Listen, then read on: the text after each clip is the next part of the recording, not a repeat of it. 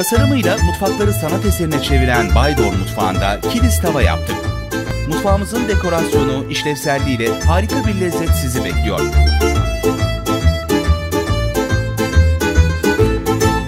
Baydor Mutfağı'ndan herkese merhaba.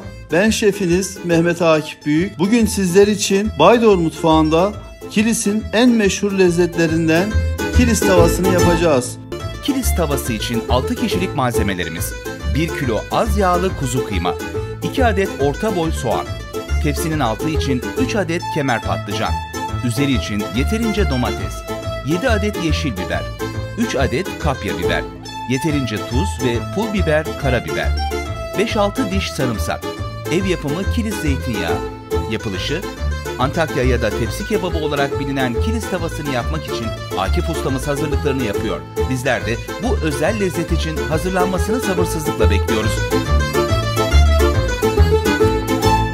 Öncelikle sebzelerimizi çok ince doğramakla başlıyoruz. Akif ustamız yeteneğiyle sebzeleri çok ince doğrarken sizler isterseniz sebzeleri robotta çekebilirsiniz.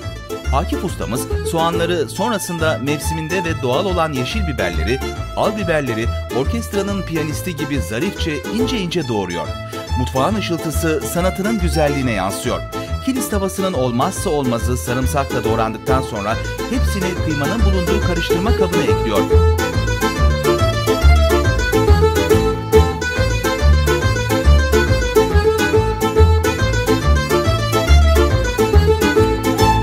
Kilis tavasında baharatlar önemlidir.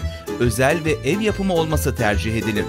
Malzemelerin üzerine tuz, pul biber ve karabiberi ekliyoruz. Baharatladığımız malzemeleri güzelce karıştırıyoruz. Kıyma dinlene dursun, biz tavamızın tabanına koyacağımız patlıcanları hazırlayalım. Alacalı soyduğumuz patlıcanları halka halka doğrayıp tuz, karabiber ve çok az kilis ev yapımı zeytinyağıyla karıştırıyoruz. Bu arada unutmadan kilis tavasının tabanına yazın patlıcan, kışın patates konulur. Borcam tavamıza patlıcanlarımızı seriyoruz ve üzerine kıymamızı döşeyip 250 derece fırınımızda 30 dakika pişiriyoruz. Tavamız pişe dursun, biz son işlemimizi yapalım. Domates ve biberleri elma dilim kesiyoruz. Nar gibi kızaran tavamızı fırından çıkarıp üzerine domates ve biberleri de yerleştirip 10 dakika daha pişiriyoruz. Pişen yemeğimizi Akif ustamız pasta dilimler gibi dilimleyip servis yapıyor.